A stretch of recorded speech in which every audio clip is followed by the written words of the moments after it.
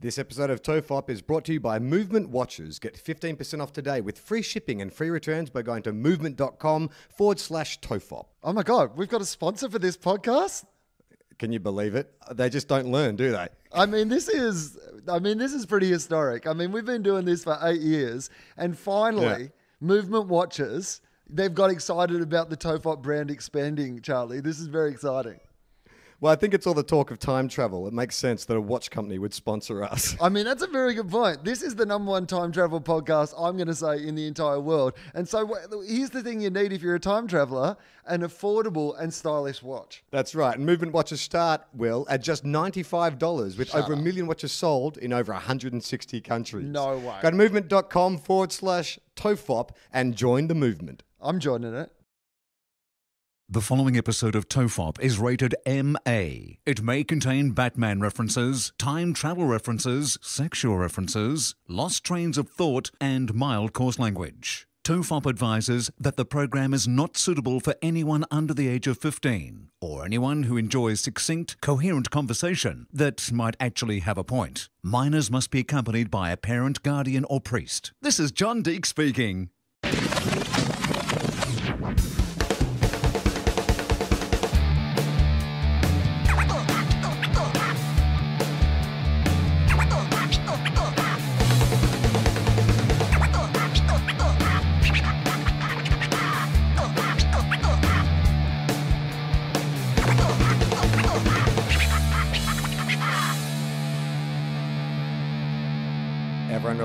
Is TOFOP. I'm Charlie Clausen. I'm Wil Anderson. Hello, Charlie. How are you?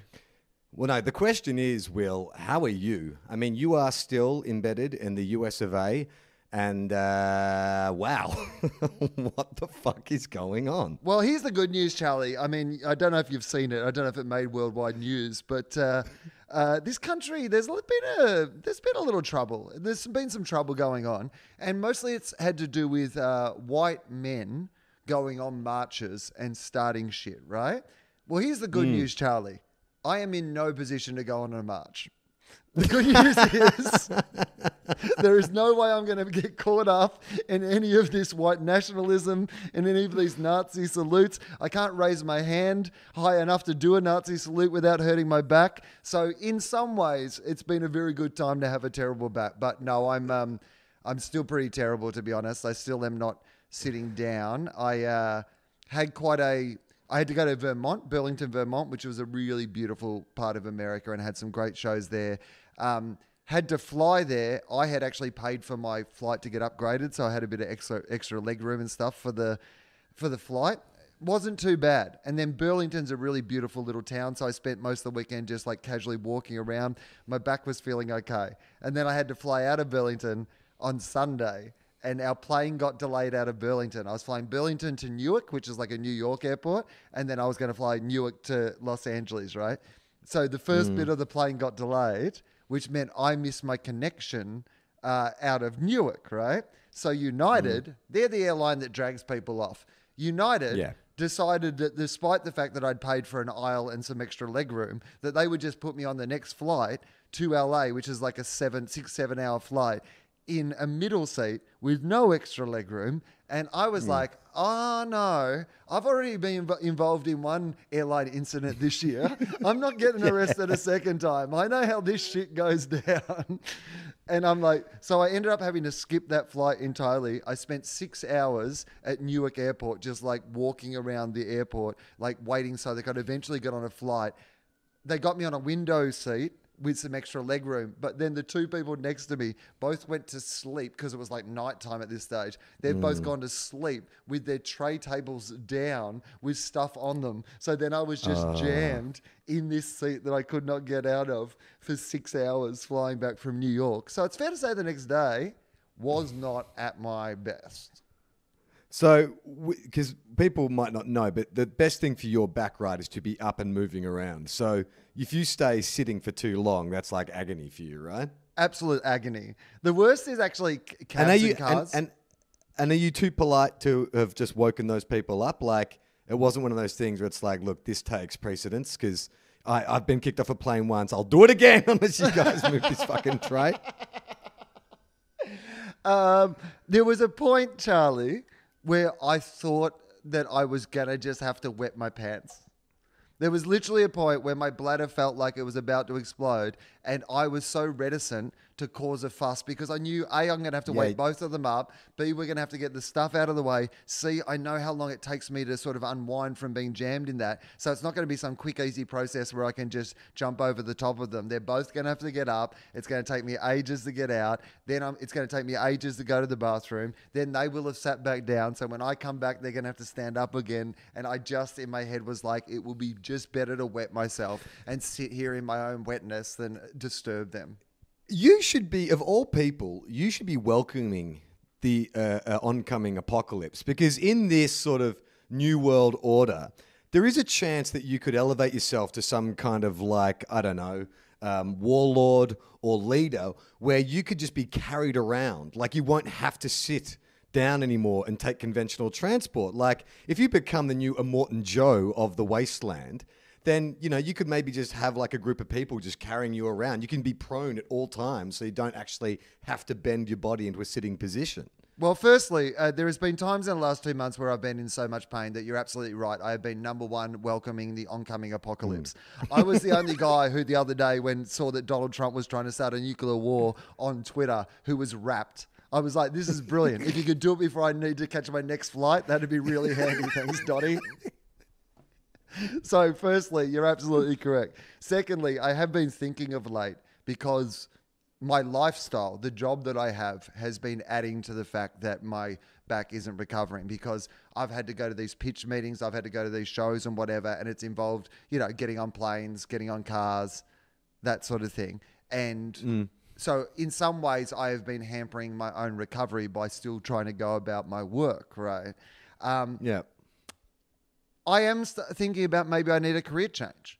Maybe I need something where I can use the skills that I have, but I don't have to have the same lifestyle that's clearly destroying my body. And you have suggested something that I hadn't really thought about on that list, but I was thinking, you know what? Because in my head, I'm like, uh, maybe I need to get some job where I'm in the same place, you know, a long time in a row rather than having to travel around all the time. I'm in the life of a touring stand up comedian, particularly here in America, where I'm on, you know, economy, you know, seats on long flights in between shows and stuff like that is probably not necessarily the right lifestyle for me to fix myself. So in my head, I've been like, oh, well, I probably need to get like a, a solid, you know, job somewhere where I can just stay in the same place. But You've you've come up with a much better idea, which is I can become despot. some. I can use my powers of being able to unite a group of disparate Yeah. people behind my philosophy and my charismatic public speaking into some sort of movement where I also ask them to carry me around. That's a much better Well, solution.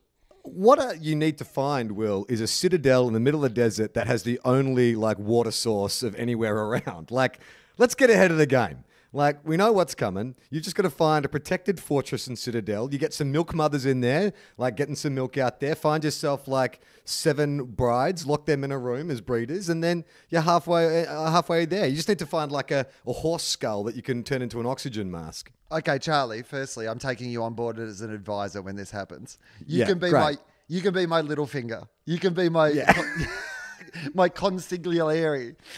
so because he's oh, I have somewhere that I could do this, Charlie. We're not we're not Yeah. even like because the thing is, my parents. You know, when they eventually, you know, don't don't uh, own the farm anymore, then a third of that farm will essentially be distributed between my brother who runs the farm, my sister, and myself, right?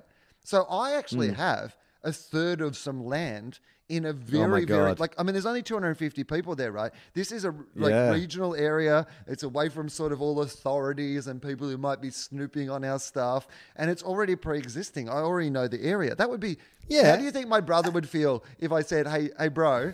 I know you've been running the farm and doing a really good job, but I'm going to need a third of the land to start my cult. Yeah, I think that's all right. I mean, if he gets to still do what he's doing, and you would obviously, the, you, you- we could pay rent, like on where we decide to start this cult. Yeah. We could pay your your brother a bit of land tax. And the great thing about Heyfield is we've got a troubadour there to write songs of inspiration about like this cult of Wil Anderson. What's his name? You know, Heyfield Girls guy. What was his name? Was yeah, War? Heyfield girls. Yeah, that guy. Heyfield Girls guy, that guy, yeah, the guy who we gave him more hits than he's ever had on YouTube, and the way he repaid us was to say, oh, "I wish these guys hadn't made fun so much of the people." Of... It's like, mate, we celebrated your song. We got you more listeners than ever before. So we go back to him and we say, "Listen, we got your five thousand hits on YouTube. Michael Waugh, that's it. Thank you, Mike Al. Will you become our troubadour? You just write sort of political songs that sort of like." uh, uh, celebrate uh, this cult and, and Wil's vision for the future. But what platform are you like? What if, if this is some kind of like uh, uh, uh, apocalyptic cult? What what is your platform to get people on board? Well, basically, firstly, you kind of set up the community, I think, and that's going to be pretty easy because you've just got to appeal to things. I think mostly for people who want to join cults. Yeah, there's going to be some belief in the you know bigger ideals, but mostly, I reckon it's a lifestyle thing.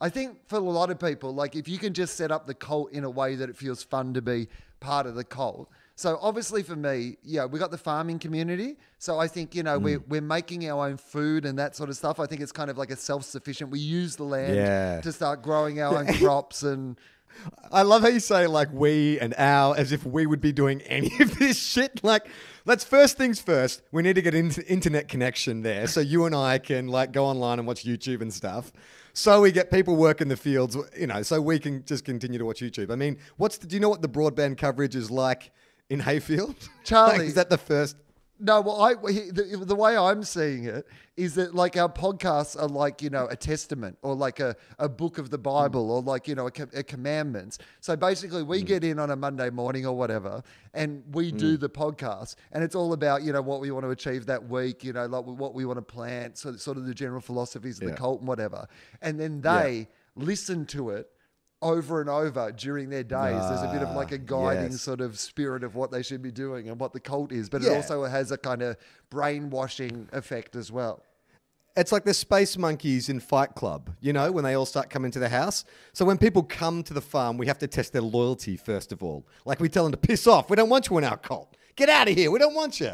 And if they stick around after a number of days, they're in. They've passed the first test.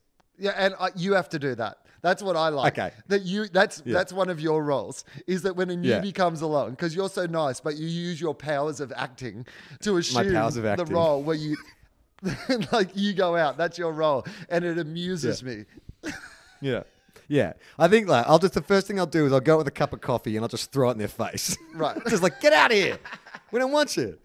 I mean, but the thing is, I'm imagining we're starting from like the bare bones. So you, I imagine it's just you and I just like, well, you're not sitting. I'm sitting on a log. You're standing next to the log in the middle of this field. so we don't really have anything for people to come and assemble at.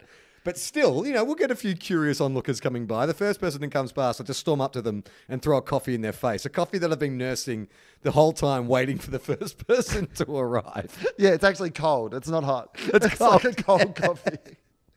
It actually gets cold in Heyfield, doesn't it? So it's probably just like a just a, a block of ice that I throw out of the cup into their face. All right, that's look, great. So let's say hypothetically, to, to be honest, look, we don't actually have to do any of those things because the bare fact that our cult is based just outside Heyfield will be enough of a deterrent to most of the population. we will know that if they're willing to go and live in a field just outside Heyfield, that they've already pretty much passed a Fight Club esque. Well, okay. So are we saying that?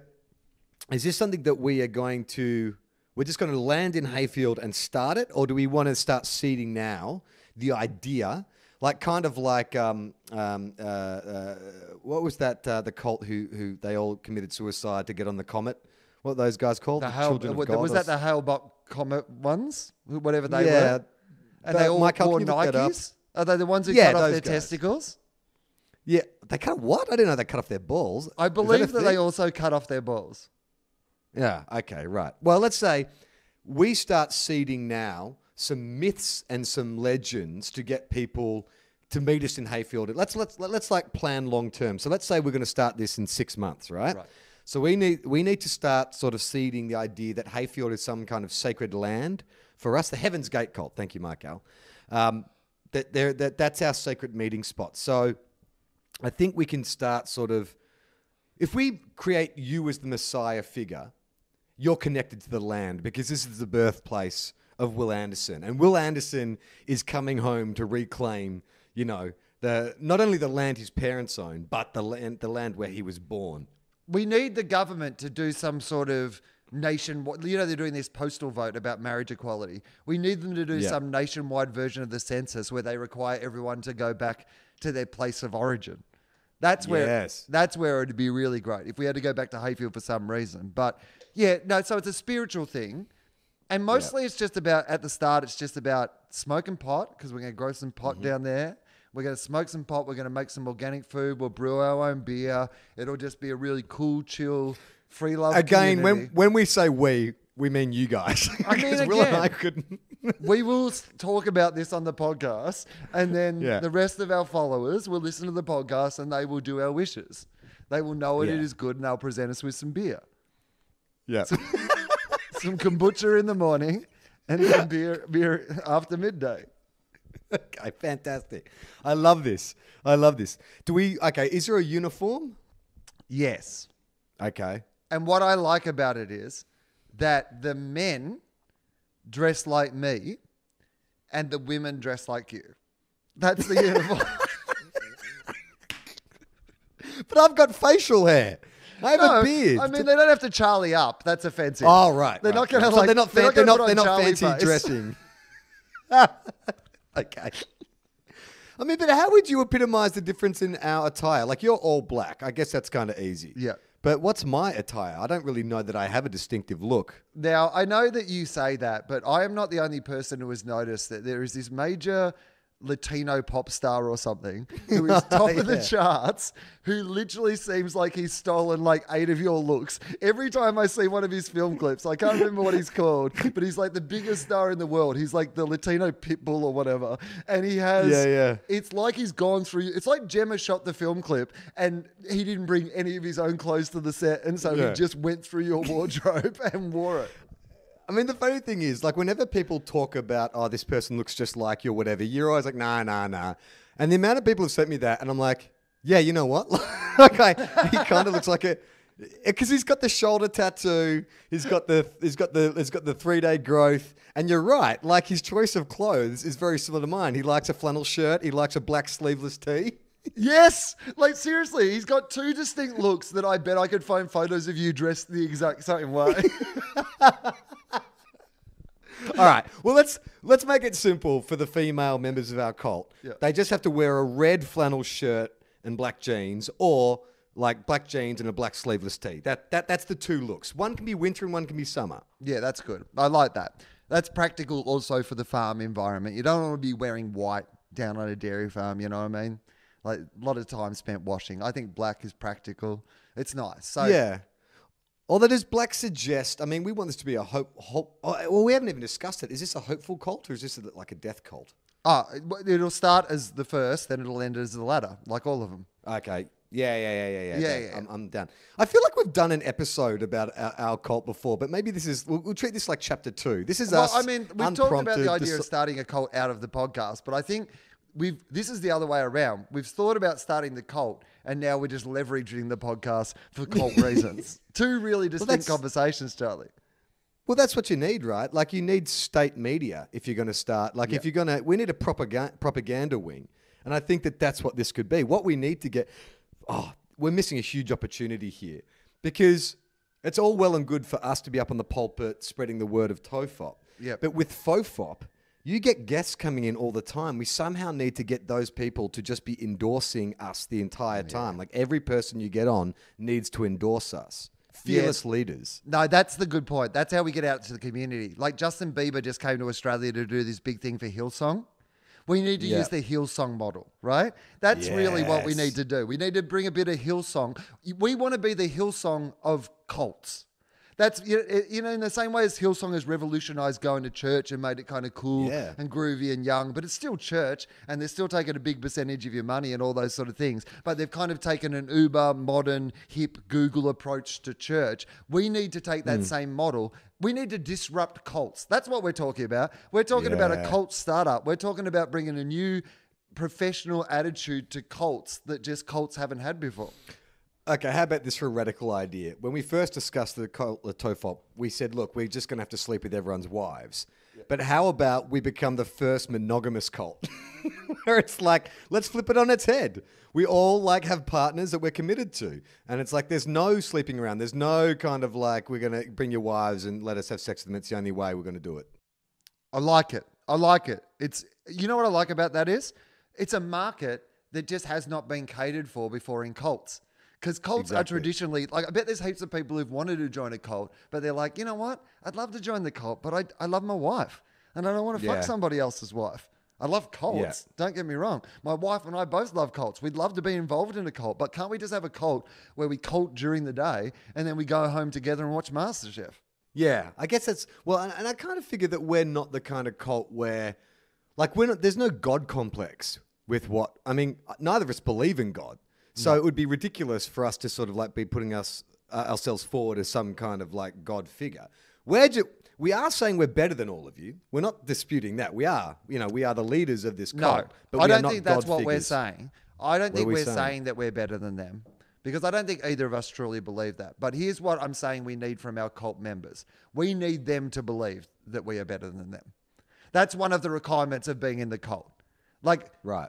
the point is, we want people who are better than us in this cult, people who can build things Yeah. and arrange things and grow things. But we want them to be under the mistaken belief that we are superior to them. That's what we're looking for, really. That's our key demo for a cult.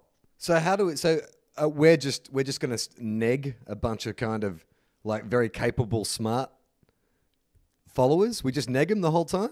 It's like, yeah, it's a pretty that's a that's a that's a pretty good hut. But I uh, heard there's a cult across the road that do even bigger huts. It wasn't the way I was going to go, but now I hear the words coming out of your mouth. It feels right. it feels like, again, because I feel like you're my real. Because you've got many more plans for the cult. I feel like I'm more you sort of just like, you know, say Hey something man, spiritual. yeah, yeah. Here are some you're like the you're, you're like the you're like the Steve Jobs. I'm just going to take some acid and have a fucking vision. But I'm the, like the Wozniak. I'm the guy's like, well, how do we implement this? Like, how do we actually make this happen? Wil it's all well and good that you just want to fucking live off, you know, live off grid and have this fucking like lifestyle. But how do we make this work? How do we control these people? I'm your Steve Bannon to your Donald Trump. It is. That is really true. I'm just big visions, big statements, and then you're like the follow it up and get it got done guy. All right, I'm down with this. I like it. So we've got uniforms, we've got a place to live. Um, what are we going to do about kind of, uh, do we have any sort of, do we have to have any kind of um, systems in place to deal with like government interference or uh, the police or, or anything like that? Like, because surely we're going to come under fire. Do you need a permit? To have if a it's cult? private land, we can do whatever the fuck we want, right? Exactly. That's I, I and I think well, here's the thing, Charlie. The only reason the police get involved is when you're breaking the law, and we are Yeah. going to be breaking some laws. That's the Yeah. truth of it. I mean, there's no point having a code if you're not going to have some rules that apply on your bit of land that do not apply everywhere else. But we're just going to be discreet about it. You know? Yeah. Yeah, that's that's What is that? basically what we're going to do. We're just going to like, you know, if when we're growing our pot, we're going to grow it underground. We're going to do it discreetly. You know, like we're going to Oh. Ah. keep it chill. How about this? Yeah. All everything that we build on the land is built out of mirrors. So it has that effect of like, you know, the predator's camouflage uh, technology, the way it just reflects the area around it. So I haven't been to your parents' farm, but I imagine it's just like, you know, a lot of greenery and trees and shit like that around there. So if we build everything out of mirrors, when you drive past, you might not even fucking see it. On a sunny day, direct light, maybe you'll get a glint. But generally speaking, it's just going to blend into the background. I like it, Charlie. I like it a lot. And here's the reason. It means you can check your hair at any time as well, which I think is a real appeal of the cult. Because this is a cult for people who we have an actual we have specialist hairdressers in. I'm going to get Steve. Oh, here's what I am going to do. I'm going to get Steve, my hairdresser, who I love. Yeah. Detail for Men, Sydney. That not a paid plug. I pay. um, but uh, but Steve, detail from Men. I reckon he'd be involved in our cult. He he might need an exception to the whole, you know not having sex with people's wives rule, but like uh, we'll get Steve involved and he'll give all the men the same haircut as me. Well, this is what I was just thinking. Is this is how people can discern the hierarchy of our cult? Is you have very high hair. Yeah. So you have the highest hair, Ah, love it. and it. then I'll I'll come in as your second in command because my hair is. I also like a, a bit of high hair, but my hair is not as high as yours. And then below me, you can have high hair, but in decreasing amounts. So if you're a newbie, I say you've got to get a crew cut. Like if you're a newbie into the cult, Love it, got Charlie. it. Yeah. My Yeah? God, it's like you've actually been thinking about this before. but I, I, I love it. Because nothing puts people at ease more than a cult member with a shaved head, because that always turns out really good. No, but it's about growth. It's like us stripping you back Yeah. and then you grow into us. So, mm. and at different levels, I love it. Through the society, where you're at in the cult is reflected by the height and level of your hair. And obviously, as it goes on, our hair will get more and more ridiculous and more and more high as it goes on. That's when you know, you know, when like when the cult's getting a bit weird. It's that that- those. It's like Hugh Hefner at the Playboy Mansion now. It just got old and creepy really quickly. There'll be a point where Yeah. just the two of us are up there with our really artificially inflated high hair, trying to keep in charge. But I think I'm actually liking this idea of like a visual kind of coding for like if you're the big ideas man, you're the kind of you know, and I'm the more the practical like uh, systems and, and practices kind of guy. I think when you come into the cult, you can choose to follow male or female. You can choose to follow your line, which is more kind of the esoteric, you know, big ideas, whatever. Or you can follow my line, but you have to adopt our looks. So male or female, you have to get the big hair like Wil Anderson and dress all in black. And if you're following my line, then you have to get sort of more my uh, my hairstyle, but with the facial hair. And I think that's where, for the women, if they can't grow facial hair, that we provide like a like a Mercury type beard that they can wear, like a symbolic "I follow the path of Charlie" kind of thing. I really like this, Charlie, because I think I like the idea of us being a, you know, a society that isn't, you know, caught up in gender and what your gender's meant to define you. I like the idea that it's a bit more like about your attitude to what role you're going to play in that society rather than it's good. I like this. This is I mean, this is some really complex, good thinking. I'm glad that we've got you on board for this because these are a lot of things I never would have considered. I just would have started the cult, then all these problems just would have come up. I really wouldn't have thought it through. Everyone's got different length hair, then it's hard to bring in. People love to belong to something and they love symbols. And I think that you and I Yeah. can create like a branding for our cult, which is like, look, this is a, a two pronged cult. It sort of started on the back of Wil returning to his homeland. But if you want to join us, then you can follow one of these two paths. You can be a dreamer, it can be a big thinker who can't sit down. Oh yeah, because you also are an, allowed have to to sit down. I love that. Like, because again, it's the anti cult thing. We have no bowing, we have no kneeling. In fact, your body to be like when you have reached the, the, the, the, the when you have reached a, a point of enlightenment, you never will never sit again. yeah, you're never going to get me being queen of the dragon saying bend at the knee and follow me. it's like stand up straight. In fact, never bend at the knee again. the greatest way to I pay tribute to me is to drop something and not be able to pick it up. That's my greatest tribute. I love it. I love it. Oh, this is great. All right, so, what we else have do we to need to regi- think about? Like, so well, do we have to do we have do we have to register it? Do we need to kind of, or do we do it like we think about how we built this podcast? Is we started off no publicity, we just put it out there, and we tried to organically let an audience find it. Mm, yeah. Now, is that how we do it with the cult, or do we hit the ground hard? Well, here's the thing. I guess what we've got to think about is how big do we want the cult to be, right? Because Yeah. I, I feel like it's got to be a. I feel like your problem is cult size needs to be manageable. It needs to be a mm. community of like-minded individuals. You don't want to get to the point where you kind of kind of keep an eye on everybody. That you can't kind of make sure that everybody's still on the same page. You don't want somebody getting disenfranchised by them not getting enough attention from the leaders or whatever, and then suddenly they're back Right. out in the community spreading rumors about the cult. Like we need this to be a. Pl- I'd rather concentrate on value of like the amount of people who are really into the cult than like big numbers. So for me, that means you've got to build it with like the most loyal followers first, right?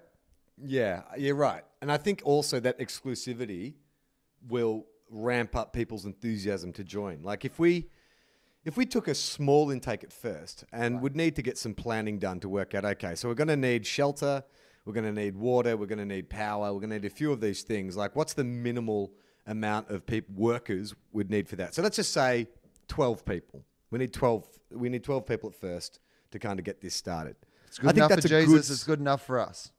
there you go. And there, I didn't even think of that. That's a good, and it's also Nick Revolt's number, so uh, that makes sense to me. Plus, if we need to play cricket against another cult, we have enough people.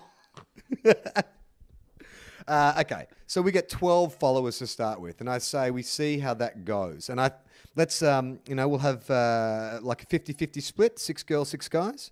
Yeah, I think so. Well, I mean, we're married couples, right? Or couples. They don't have to be married, but are we? Don't have to be married. Yeah. Yeah. Yeah, exactly. Marriage is some archaic institution. Uh, I say, looking at my wedding ring as I put my hand in the air. But we look. You know what? If you want to be married, that's fine. We don't. We don't mind. You bring whatever you want to the table. But we start off with twelve people, and the first thing we do is you build something where Wil and I can go during the day while you guys work. that's the first order of business. We want comfortable surrounds. Basically, we build a pod cave, which becomes our chapel in a way, because we're gonna. I imagine that every day, uh, at the end of the day, people come into the pod cave to get their daily sermon. Right. So, I mean, much like, I mean, here's the thing. Look, I mean, a church would be a fucking great place to do a podcast.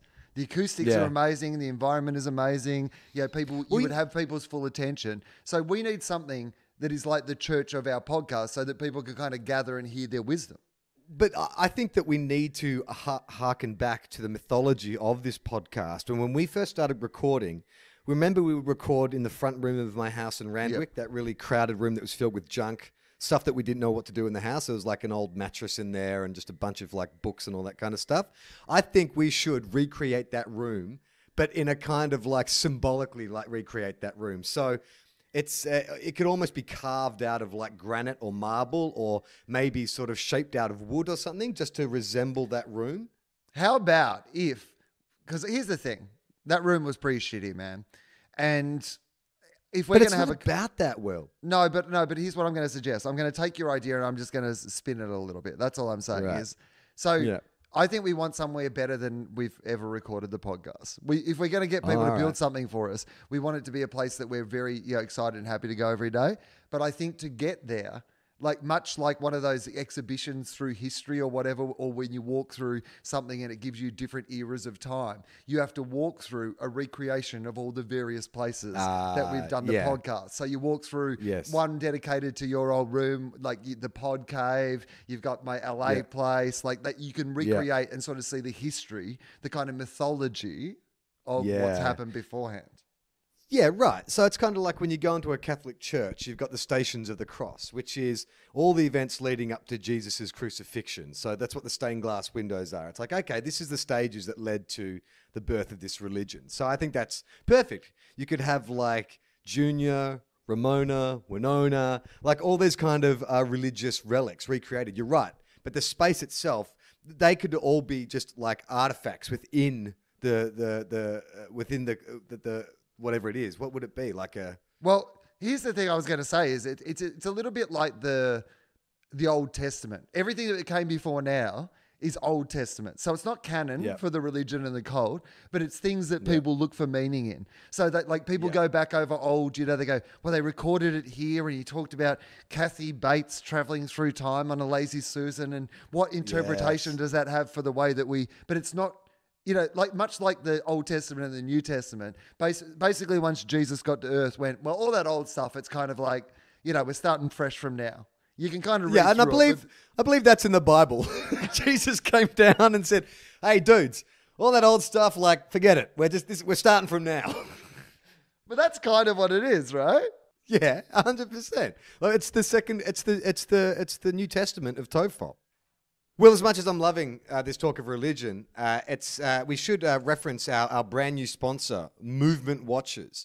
Um, if anyone listens to podcasts, they're probably quite familiar uh, with the Movement Watches story. Um, it's a company that was started by uh, two guys who wanted stylish, high fashion looking watches, but for a fraction of the price. Um, it's pronounced move. Sorry, it's spelled MVMT, but pronounced movement. And they actually sent me one of their watches. I'm not a watch person, Wil. I'd never really understood the need for a watch when you've got a mobile phone. But um, they sent me one, and I've got to admit that uh, I kind of like it. I kind of like having that watch in my hand. It sort of makes me feel like a grown up. Well, here's the thing, Charlie. I like this company because, you know, these two guys, they looked at like the market, they saw a problem in the market, they identified it, and they went about creating something themselves, right? That's like Yeah. us and our cult. This is literally the same sort of thing that we had. We've seen a hole in the cult market, and then two guys have got together with a dream and they've tried to create something. We're trying to create a movement. Like a Yeah. cult, but a That's movement, perfect. and they're creating a movement. So I mean, like, it could not be Could more we- on brand. I mean, have in the history of cults, has any cult had a major brand partner? Well, that's what you need. Because like the Heaven's Gate cult, like I think they gave everybody Nikes, but I don't think they had a deal with Nike. I don't think they'd reached out to Phil Knight or Michael Jordan or somebody and said, "Hey, can you send us like ninety free Nikes? We're about to lop our balls off to go to another planet." You know? Do you think that was a missed opportunity? There's some guy in the marketing department in Nike. He's like, oh, god damn it. This has got like national press coverage. We really missed the boat. we really missed the comment on this one. Here's what I would say about you know uh, movement watches is like clearly it's going to make a lot of news if some shit goes down at the cult, whatever the shit is go down, and if everybody involved in the cult knows exactly what time the plan is happening because they're all wearing stylish and affordable watches, then that's got to be good product placement, surely. Yeah, 100%. And the best thing, Wil, is that these movement watches, they start at just $95. Now, it says here that at a department store, for the same kind of watch, you're looking to spend between $400 and $500. Have you ever spent that much on a watch? Mate, I would give somebody $300 to tell me what the time is before I spent $500 on a watch. It's kind of like that sunglasses philosophy for me. It's like, you know, these are sort of small items that you are likely to leave behind or lose or whatever. Um, you still want the thing to look good, but to be spending four or five hundred dollars on something that you're going to leave on a friend's, you know, in a friend's couch or something like that doesn't make any sense to me. Well, these guys, I know this is not in the ad that we're doing for them today, but you know, it's their first time on board. And I just know this from listening to other podcasts. They do awesome sunglasses because Movement do Do they really? sunglasses as well. And apparently they they look really cool and they're really affordable. Movement sunglasses, it doesn't really. It, I mean, movement watches make sense, but movement sunglasses, they shouldn't have just should have changed the kind of like maybe it should have been like a like a sub company, like I don't know, lensy sunglasses. Charlie, do you really think you should be giving this feedback to our sponsor on the first time they've supported us on the podcast? Well, they're doing something right because they have sold over a million watches in over 160 countries. And the best thing, Wil, is if you're listening to this show, you like our show, and you think you maybe want a movement watch, you can get 15% off with free shipping and free returns by going to movement.com forward slash TOFOP. T O F O P. I've got to be honest with you. I've listened to a lot of podcasts over the years, and you know, obviously for different you know offers and codes and stuff, they go. So if you buy one, make sure you put in our code. And it's one of those things where you're just like, oh wow, that's actually happening on our podcast now. We have a code. it's quite exciting. Yeah. I mean, it's funny. We've complained a lot about naming our show TOFOP and having to explain what it means. But when it comes to offer codes, it's actually really good. Like, thank God we didn't call it 30 odd foot of pod because that would have been much harder to say forward slash 30 odd foot of pod. TOFOP is easy to remember, it's easy to put in, it almost goes naturally after slash. And nobody else has taken it. There's not one issue where you say we're going to put TOFOP, and they're like, that's already taken. Uh, go to movement.com forward slash TOFOP and join the movement today. There you go. All right, we're back to the normal programming. Um, So- this is great. Uh, do you want to talk about the Colts some more, or do you want to move on? Because we got some letters during the week as well. Oh yeah. Well, uh, are you talking about the follow up to one of, to our previous episode? Yes, absolutely. Yeah. So- all right. Well, if you got it there, let's let's get to it. I do indeed. Uh, uh, uh, well, I, should I use this listener's name? Maybe I shouldn't because of the nature No. of the uh, Yeah. the, com- the conversation that's been had. But uh, so um, one of our listeners has written to us after the last episode we did that was all around a particular night of adult entertainment called the Saints and Saints Sinners Ball. and Sinners Ball. Yeah. So uh, we went through the frequently asked questions on the website. We asked a lot of questions of our own, uh, whether they were frequently asked or not. Uh, we explored a lot of issues. You can go back, you can revisit that podcast. But one of our listeners had some extra information that he could share with us, Charlie. Yep. Hey guys, I just got on the show. Bloody love it already. Well, you didn't get on the show. Well, actually, you just did. You just got on the show. Oh my God. He's a Oh time God. traveler. How did you know? He's using right, his mate. movement watch. you did just get on the show. I mean, that's amazing. Uh, listen to your episode on Saints and Sinners. I have to say, I went to one a couple of years back. My mate was dating a girl from Sexyland. Now, Oh. I should firstly point out to our international listeners, and maybe even just our interstate listeners, that Sexyland is a brand, like a, a franchise of adult stores, like a Club X or that sort of thing, where you can go and buy Yeah. like sort of, you know, any sort of adult entertainment items and, you know, sex toys and stuff like that, right? I mean, it's funny. I'm where I'm in Adelaide at the moment, and there is a, a quite a large Sexyland on the way up to the studios where we're filming. It's huge, like it's the size of a small kind of shopping mall. And I would have thought in this era of like Amazon and free delivery, like if you're wanting to buy sex stuff, like wouldn't you want to sort of do it in the privacy of your own home, have it delivered to your front door, or is there something about like going to a retail store? You know, when people talk about like, oh, I like shopping for clothes in actual stores because I get to try them on and all that kind of stuff. Is it the same kind of thing with like sex toys and costumes and all that kind of stuff? Well, I, I don't know how many of them they let you try on. I mean, I imagine you can't like try out a butt plug just to see if it fits or whatever. but but Well, Wil, I imagine with butt plugs, it's one size fits all. Good point, Charlie. I hadn't thought that through. But my point being that it might be like that where sometimes you go and you check it out at Sexyland because you might not know what things are available to you. So you go to the retail hmm. environment, maybe then you go home and you order it online. But I guess at Sexyland, you can sort of just like, you can make some impulse sexy purchases as well. If you go out to Sexyland, you're like, we're going to a bachelorette party. I don't know exactly what we want. Do we like, do we want penis like straws or do we want like, you know, dicks that we can put on our heads? What sort of dick related things do we want Yeah, for a exactly. bachelorette party? We just want penises we can either drink things through or wear on our clothes. You know how Disneyland is called the happiest place on earth? Do you think when Sexyland Yeah. came out with their slogan, they went with uh, the horniest place on earth? Because that would be a good advertising slogan. Well, the sexiest place on earth Yeah, seems to be more logical, right? sure, maybe. I mean, they got a character Dickie Mouse. It's a it's a whole thing. But so Sexyland, Hey, did you say Dicky Mouse or Dick in Mouth? Because I think Oh, well. either of those work well. It's a mouse, but his name is Dickie Dick in Mouth. Get it, guys? He's wearing no pants. uh, okay, so uh, his girlfriend worked at Sexyland. She wasn't from Yep. Sexyland. She worked at Sexyland. Um, my mate was, oh, well, his mate was dating a girl from Sexyland, and she got his tickets.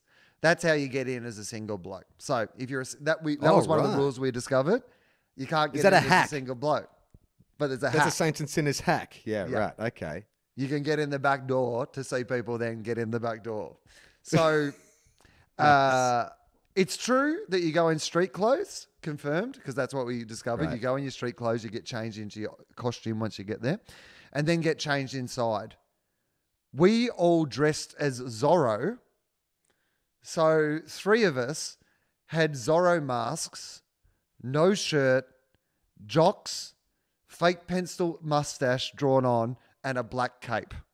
Nope. So Okay, jocks, sure. So Zorro and his jocks, basically. I can't remember. Can you, uh, when we did the uh, original uh, story, was was there were they themed nights or was it just come in any fancy dress? Any it was fancy anything, dress. right? Yeah. Okay. Yeah, you had to come in fancy dress though, but any sort of fancy dress. So the three of them have gone as Zorro. Three Zorros. Okay. Haven't put a lot of thought Yeah. into it. This is why they don't Not invite really. single blokes to these fucking things, guys. uh, on the night I was shitting myself a couple of times. First was after getting changed. You receive a garbage bag to put your street clothes in, and you line up to put them in a locker. At this time, I had a woman behind me who thought it would be a great idea for her to stick her finger up my ass.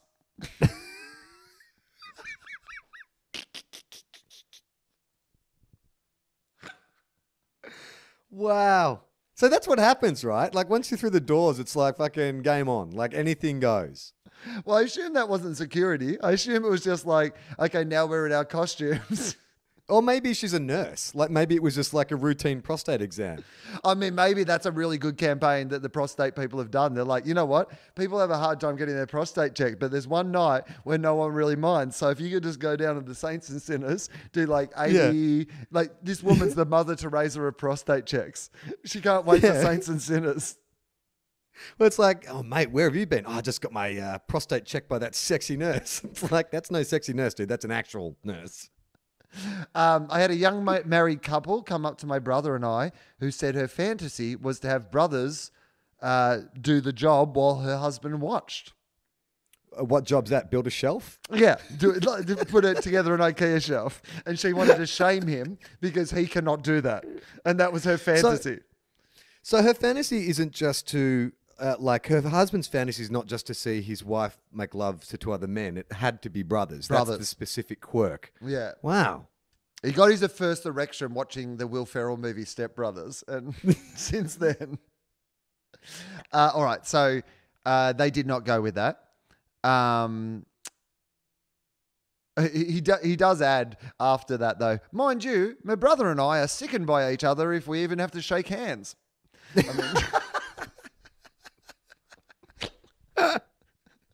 love it.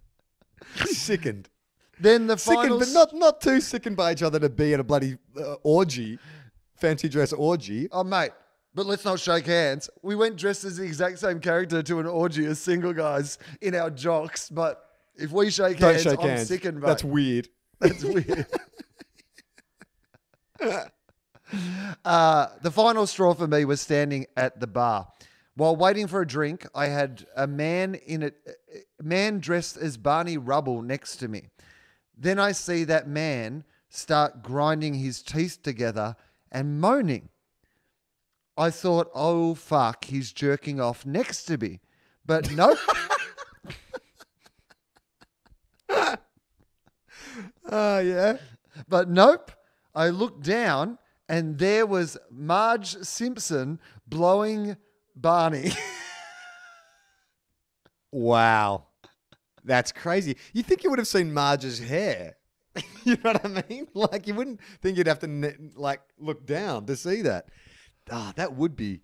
I mean, first of all, like they're two different properties. It would never be in the same universe, so that would be confusing. But second of all, yeah, that's strange. well, he does actually add, it's not always great to see connecting universes with your favorite cartoon characters.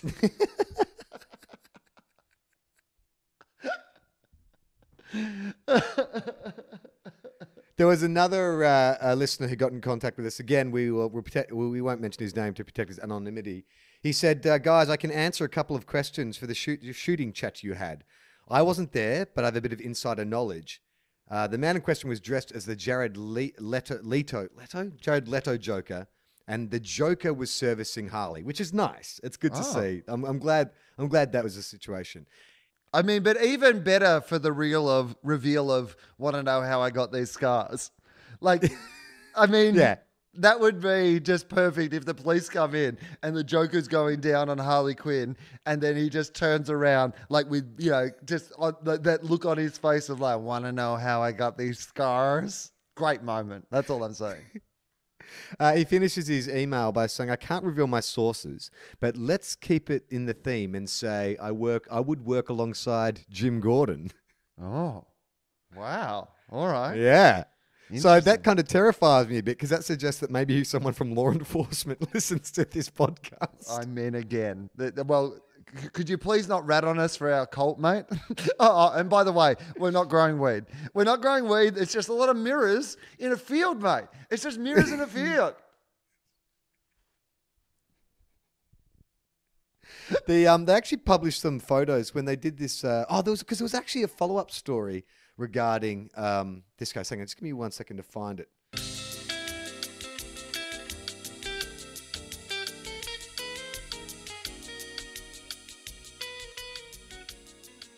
There was a follow up story uh, about the Saints and Sinners Ball, Wil. Um, this is from the ABC News website by Sarah Farnsworth, dated the 10th of August. Headline Inflation Nightclub, colon. Leaked vision shows police dancing with swingers before shooting. Oh, no. Hang on. No. Now, maybe, maybe our mate uh, who worked with Commissioner Gordon uh, has got some inside info on this. I'll, I'll read it, and if uh, well, if someone was it, wants the, to, was it the real police or was it just people who may have been dressed as police characters at the ball?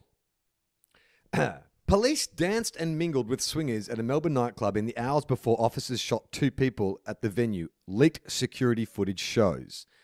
Dale Ewings, 35, and Zita Sukis, 37, are suing the state of Victoria after being shot at the swingers' costume party at the King Street Club on July 8th.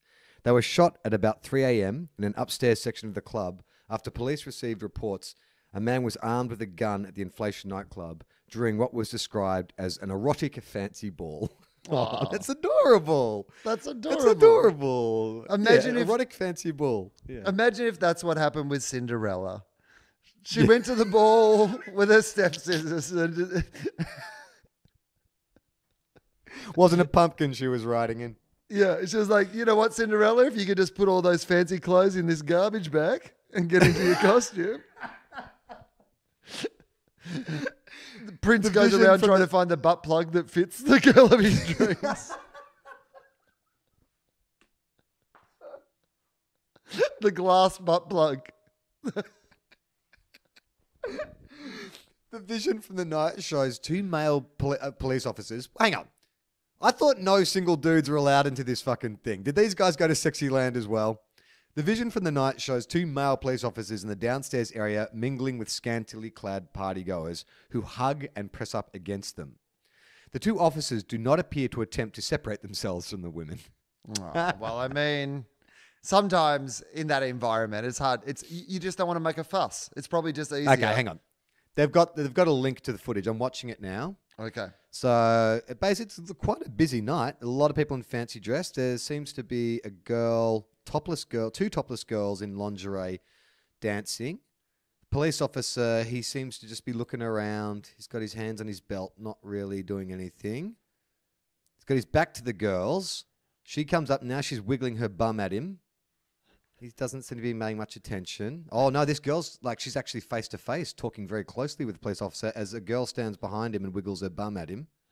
This is like porn for the oh, blind. Oh, she, yeah, and she's putting her arms around him. Now the police officers, it's later in the footage, they're standing at this railing, looking over the dance floor, and he's just it just looks like he's talking to one of the girls.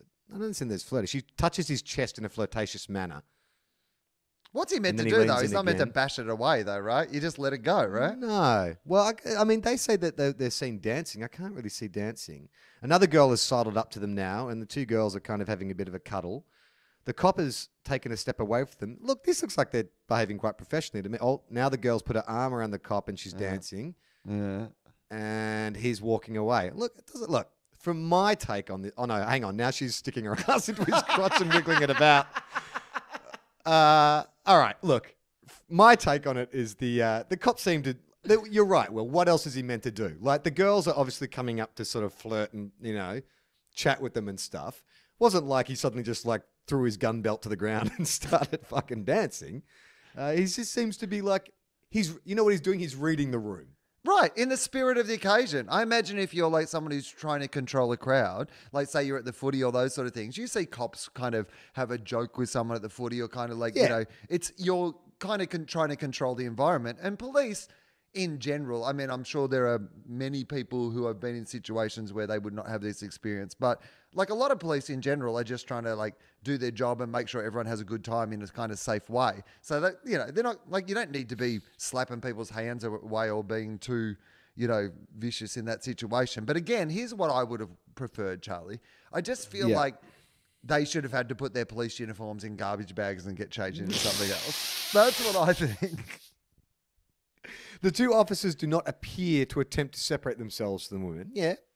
But they don't appear to be doing anything either. One officer is seen in close proximity to a woman in fancy dress for 90 seconds before she lets go of him, and another woman wraps her arms around him. According to the camera timestamp, police officers were at the venue for 90 minutes before the shooting. They were surrounded by half naked patrons who paid them little attention.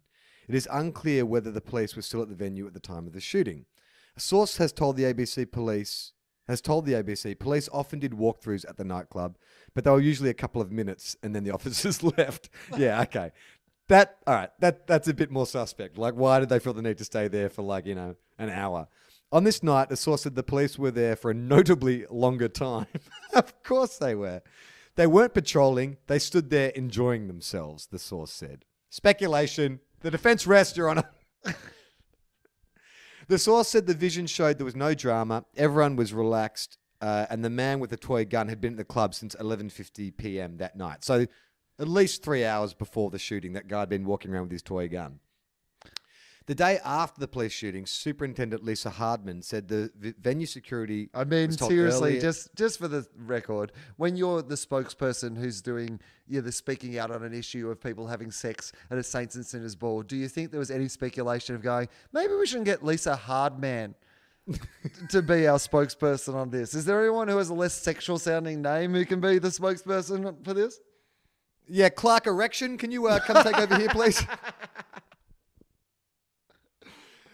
Superintendent Lisa Hardman said venue security uh, was told earlier in the night that the gun was fake, but the firearm was leveled at police, prompting their response. In Oh, court okay. documents, M- Mr. Ewens and Mr. S- and Mrs. Sukis alleged they were surrounded by 10 members of the critical incident response team before Ms. Sukis was shot by one or more of the officers. It is alleged that Mr. Ewens was also tasered, punched in the face, forced to the ground, and handcuffed. Now, But that was Wil, that was that was earlier in the night. It had nothing to do with the police incident. or is it possible that those guys thought he actually was Jared Leto and were like, mate, suicide was terrible. We're going to punch you in the face and taser you. This is for sending people condoms of your own semen. They're your work colleagues. It's inappropriate behavior. Nightclub owner uh, Martha Samus had previously said that the police overreacted to the situation and the man only had a toy gun, which nightclub security had informed police about. She also contradicted the police account that the man aimed the gun at officers and said he was in a compromising position with a female partner. And, like, if that is true, I sort of take the side of, of, of Mr. Ewing's. Like, it's pretty hard to be doing that and also pointing a gun at police, right? I mean, it's hard for us to speculate on this, but yes, like I mean, just logistically, if what you're saying is correct, if indeed he was mid, like you know, fellatio, right? Your Honor. Yeah. I love that. I mean, I like it. Good. They call it an erotic fancy dress ball. So I think fellatio is a, is a perfectly appropriate term. Yes. Right. Uh, He Continue. was, yeah. He was upper, Your Honor. So, I believe he was growling her out, Your Honor. Your Honor, if I could take the court's. If it uh, pleases the co- if it pleases the court, Mr. Ewing was, I believe, growling her out. He was chewing on the carpet. He was chomping down on some box. no objections, Your Honor. Sustained. In a, in a statement, Victoria Police said all police movements on the night of the shooting would be investigated by its Professional Standards Command. Police members are expected to attend licensed venues and are regularly approached by patrons to engage them in conversation, a spokeswoman said. Police are expected at all times to conduct themselves professionally. As the investigation is ongoing, it would be inappropriate to comment further. Do you remember in the late 90s or the mid 90s, there was a big story in Victoria about um, a bunch of police officers, or a couple of police officers, went to a, do a walkthrough of a nightclub. And one of the officers was videoed, or, or, or they had at least photos taken of him like dancing on a bar top, like, like actually like in a hands above the head, like really just like letting loose. And it was this huge kind of controversy. It's like, that's not appropriate behavior. Now, I get that. But from what I've seen, these guys just seem to be like, as you say, reading the room. Right. I mean, in a general sense, I have no problem with it. I mean, it, there's a bit of a thing at the moment where cops are going viral. Have you noticed that? It seems to be that No. somebody's gone around the police forces and gone, hey, guys, uh, we don't have the best reputation with the public at the moment. Um, is there any chance uh, you could dance to Beyonce at halftime of a women's basketball game? Ah, yeah, yeah, right. Yeah, I've seen or those whatever. You know, there's, there there seems to be these like police flash mobs and like kind of cool police viral videos and stuff that are happening at the moment. So I think you need that in your police force. You need your sort of characters. Well, when I was growing up, like whenever there was like a like a school fair or you know some kind of community event or whatever, there would always be a police rock band would Right. turn up, and they always had a name like you know you know uh, like check one two uh, red light blue light or something. Oh like yeah, yeah, that. code blue or whatever, right? Code blue, yeah, something like that. And where I mean, do they still exist? Like that? Maybe that's what we need. Like on the next kind of X Factor or whatever. Let's get the police band out, man. Yeah, I mean that'd be great. Actually, it'd be good if they. oh, Why don't they do one of those like how Survivor does, like you know, heroes versus villains, or they do like blue collar versus white collar. You could get all the different because they all have their own different the armed forces and you know the ambulance, the all those sort of places. You could compete them against each other. Or what about like we update it? Like instead of like a police band, like think about kind of gangster rap and hip hop traditionally has a very anti-police vibe to it. Right. But if you've got a bunch of police, instead of fuck the police, it's hug the police. Hug, hug, hug the police. You know? Like it's kind of like it's it's just rapping all about like law being a law abiding person. Oh yeah, we're uh, PWA. and we'd like to tell you to hug the police. That would be great. That would be great if the police had a hip hop act called PWA. PWA. It's and they got they're police without attitudes. And, and it's always like hug the police. Hug, hug, hug, the police. Hug the police. Yeah. Straight out of Pentridge. You're gonna be on parole. I can't do it. Hey, um, let's wrap this up. Okay. Uh, do you want to tell people about our fucking massive live shows happening at the Opera House? Yeah, we're doing two shows at the Sydney Opera House. It's September the 15th and 16th, so it's less than a month away now. So we should, you know, have a think about it and book some guests and stuff like that. But um, it's it's pretty huge. I mean, obviously doing shows at the Sydney Opera House, our tiny little podcast. We've got a sponsor now. We've we're doing shows at the Opera House. I mean, we're still talking about the same old crap, but but you know, it's a But it's a brave new world, and there are some tickets available. I think there's like a couple to one of the shows. One show is pretty much sold out, but I think there's a couple of random tickets if you want to go by yourself or whatever. And uh, the second show, there is not actually, it's selling pretty quick. So if people want to come to those shows, please get in as quick as you possibly can, and uh, we'll find some awesome guests, and they will be really fun and brilliant shows. I mean, it'll be amazing to do this podcast at the Sydney Opera House, and I think uh, you'll enjoy being part of it. I mean that I gotta say, Wil, like I mean, I think you'll enjoy being part of it isn't really the greatest sales pitch. No, that was to you, Charlie. I was saying, I Oh, thought right. you'll be. Oh, yeah. I think you'll enjoy being part of it. Yeah, I don't know what the I think audience will think, but I think you'll enjoy doing a show at the Opera House. We've also got a website, tofop.com, uh, which has this and many other fine podcasts. We do an AFL podcast if you're into the Aussie rules. Wil does a, a couple of podcasts on his own. He does a highbrow one called Wilosophy. Yeah, I've done a couple of new episodes recently. Tim Ferguson, that's a great episode up there, and uh, Bridget Fetisi, who might be a name that not everybody knows, but it's a it's a really fantastic uh, podcast. She came in with an eleven point philosophy all of her own, and we went through it point by point. point, and it's uh, it's it's it's really fun. It's really brilliant. So if you don't know her, check that out. And Fofop, which is kind of the spin off of this podcast. Uh, we've been having a little run because I've been in America and I've, you know there's other comedians around, so there's a bunch of really cool episodes up. There'll be one that goes up around the same time as people hear this with uh, Bert Kreischer. Might people might know him from his podcast, uh, the Bert Cast, and he was brilliant to sit down with. Um, there's a, a Joel McHale one. Uh, there is uh, Gareth from the Dollop, who people will know, Gareth Reynolds. I Um, heard, the, I listened to your Joel McHale one. Can I ask, is he very handsome in real life? Well, okay, so uh, I'll answer some questions that both you've had and Okay. then some that listeners have had, and I'm happy to answer them both. Which is, Yeah, firstly, go. yes, he's very handsome, and yes, he's he is handsome. he's real life handsome, as in like. You, sometimes when you see people on the screen, they look handsome on the screen or whatever. They don't actually look handsome in real life. He's real life handsome, and he's Hmm. You know how I knew? y- You know how I know he's handsome is that when Foz did because you know when Wil does an episode of Fofop, uh, James Fosdyke will do a little like uh, illustration, a caricature of Wil and who his guest is. And it's the most handsome caricature you've ever seen. Like generally, caricature is like make fun of someone's features, but I'm like, wow, even his caricature is handsome. Yeah, I reckon Foz would have got it and just gone, this is actually a hard one to draw because there's nothing about his face that is imperfect that I can sort of. Mock. right. So um, some people have asked me, they said that, that he, they thought he was a bit hard work.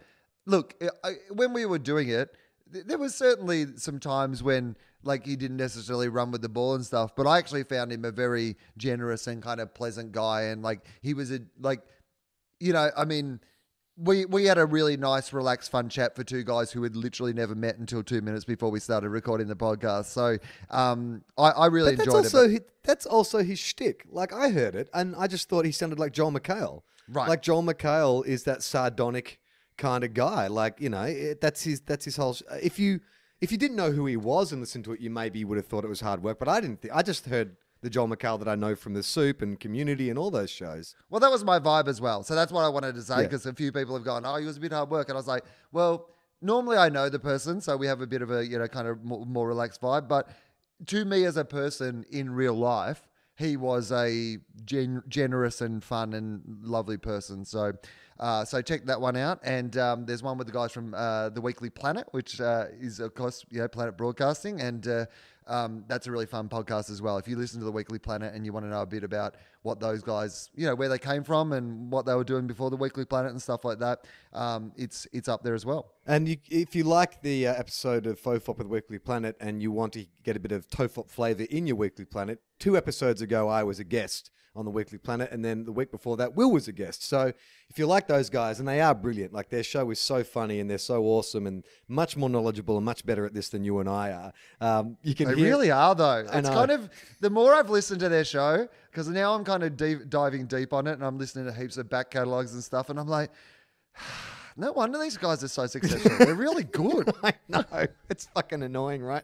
Like, even when I went round to uh, their place to record and the setup they have, it's like, oh, this actually looks like a proper setup. like, this isn't like anything that we've done in fucking eight years. I mean, essentially, that's why we've clung on to them desperately, though, in the hope that some of that might rub on up, up off on us. So let's hope so. Uh, and that's about it. Oh, also, if you want to support the show in other ways, yes, we have sponsors now, but um, you know we still uh, rely on uh, on your generosity to to hire people like Mike Howell, who produces the show, and James Fosdyke, who does the artwork. So if you'd like to support the show, you can go to Patreon.com um, and, and just donate any amount that you want. Um, within Patreon, there's some bonus content, including James Fosdyke's amazing comic strip, Everyone Relax, which is art inspired by the show.